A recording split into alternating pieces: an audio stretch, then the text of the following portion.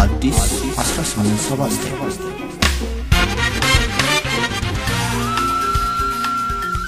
ውድ የአዲስ 1879 አድማጮች እንዲህ ሆነላችሁ።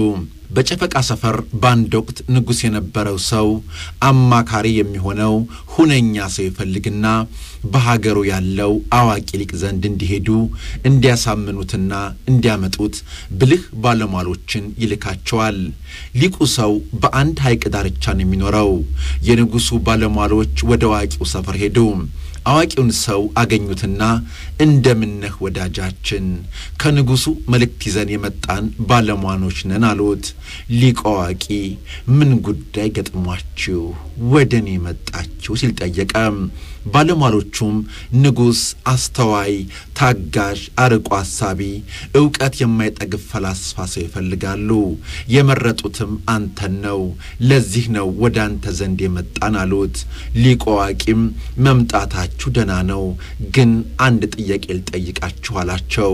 ባለሟሎቹ መልካም ጥያቄህን ሰንዝር አሉት። ሊቁ ጥያቄ ንጉሡ ትክክለኛ አማካሪያቸው እኔ መሆኑን በምን አወቁ? እውቀታቸው ትክክል ከሆነስ ለምን ለአማካሪነት አሰቡኝ? ባለሟሎቹ ነገሩ አልገባህም ማለት ነው። ንጉሡ የሚያምኑት ቀልባቸው ወደደውን ነው።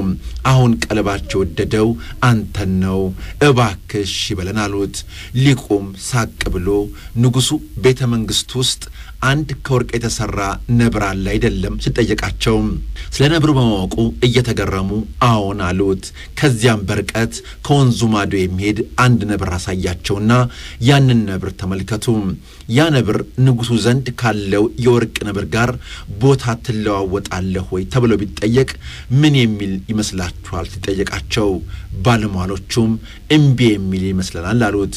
ሊቁም በወርቅ ተለብጦ ጠረጴዛ ላይ ከመቀመጥ እዚሁ ሰፈር ውስጥ በሕይወት መኖሩን መረጠ። እንግዲህ የኔም መልስ እንደዚያው ነው። እዚሁ ያለሁበት መሬት ላይ መኖርን እመርጣለሁ በሉና ለንጉሡ ንገሩልኝ ብሎ አሰናበታቸው።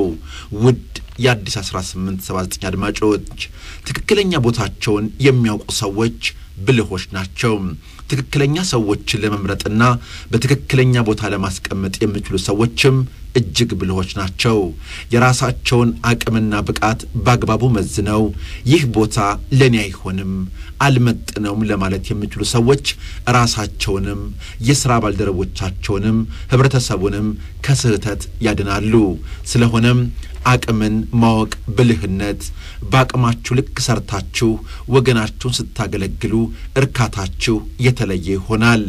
ነገር ግን የተገኘውን ሁሉ ልስራ ላደርግ ብሎ መጣር ከሥራው በስተጀርባ ውድቀትም አለና ጠንቃቃ መሆን ያስፈልጋል። ይህንንም አመቻጣ ነው። በአቅማችን ልክ እየሰራን ገቢያችን እያደገ ስራችን የበለጠ እያስተማረን እኛም እየተለወጥን እንገኛለን።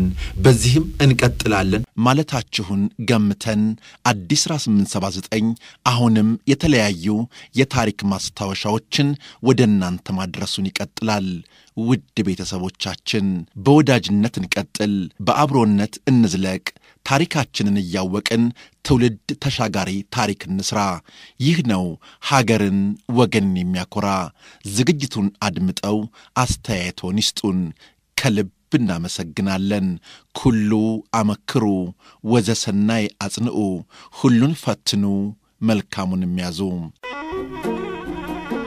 አዲስ 1879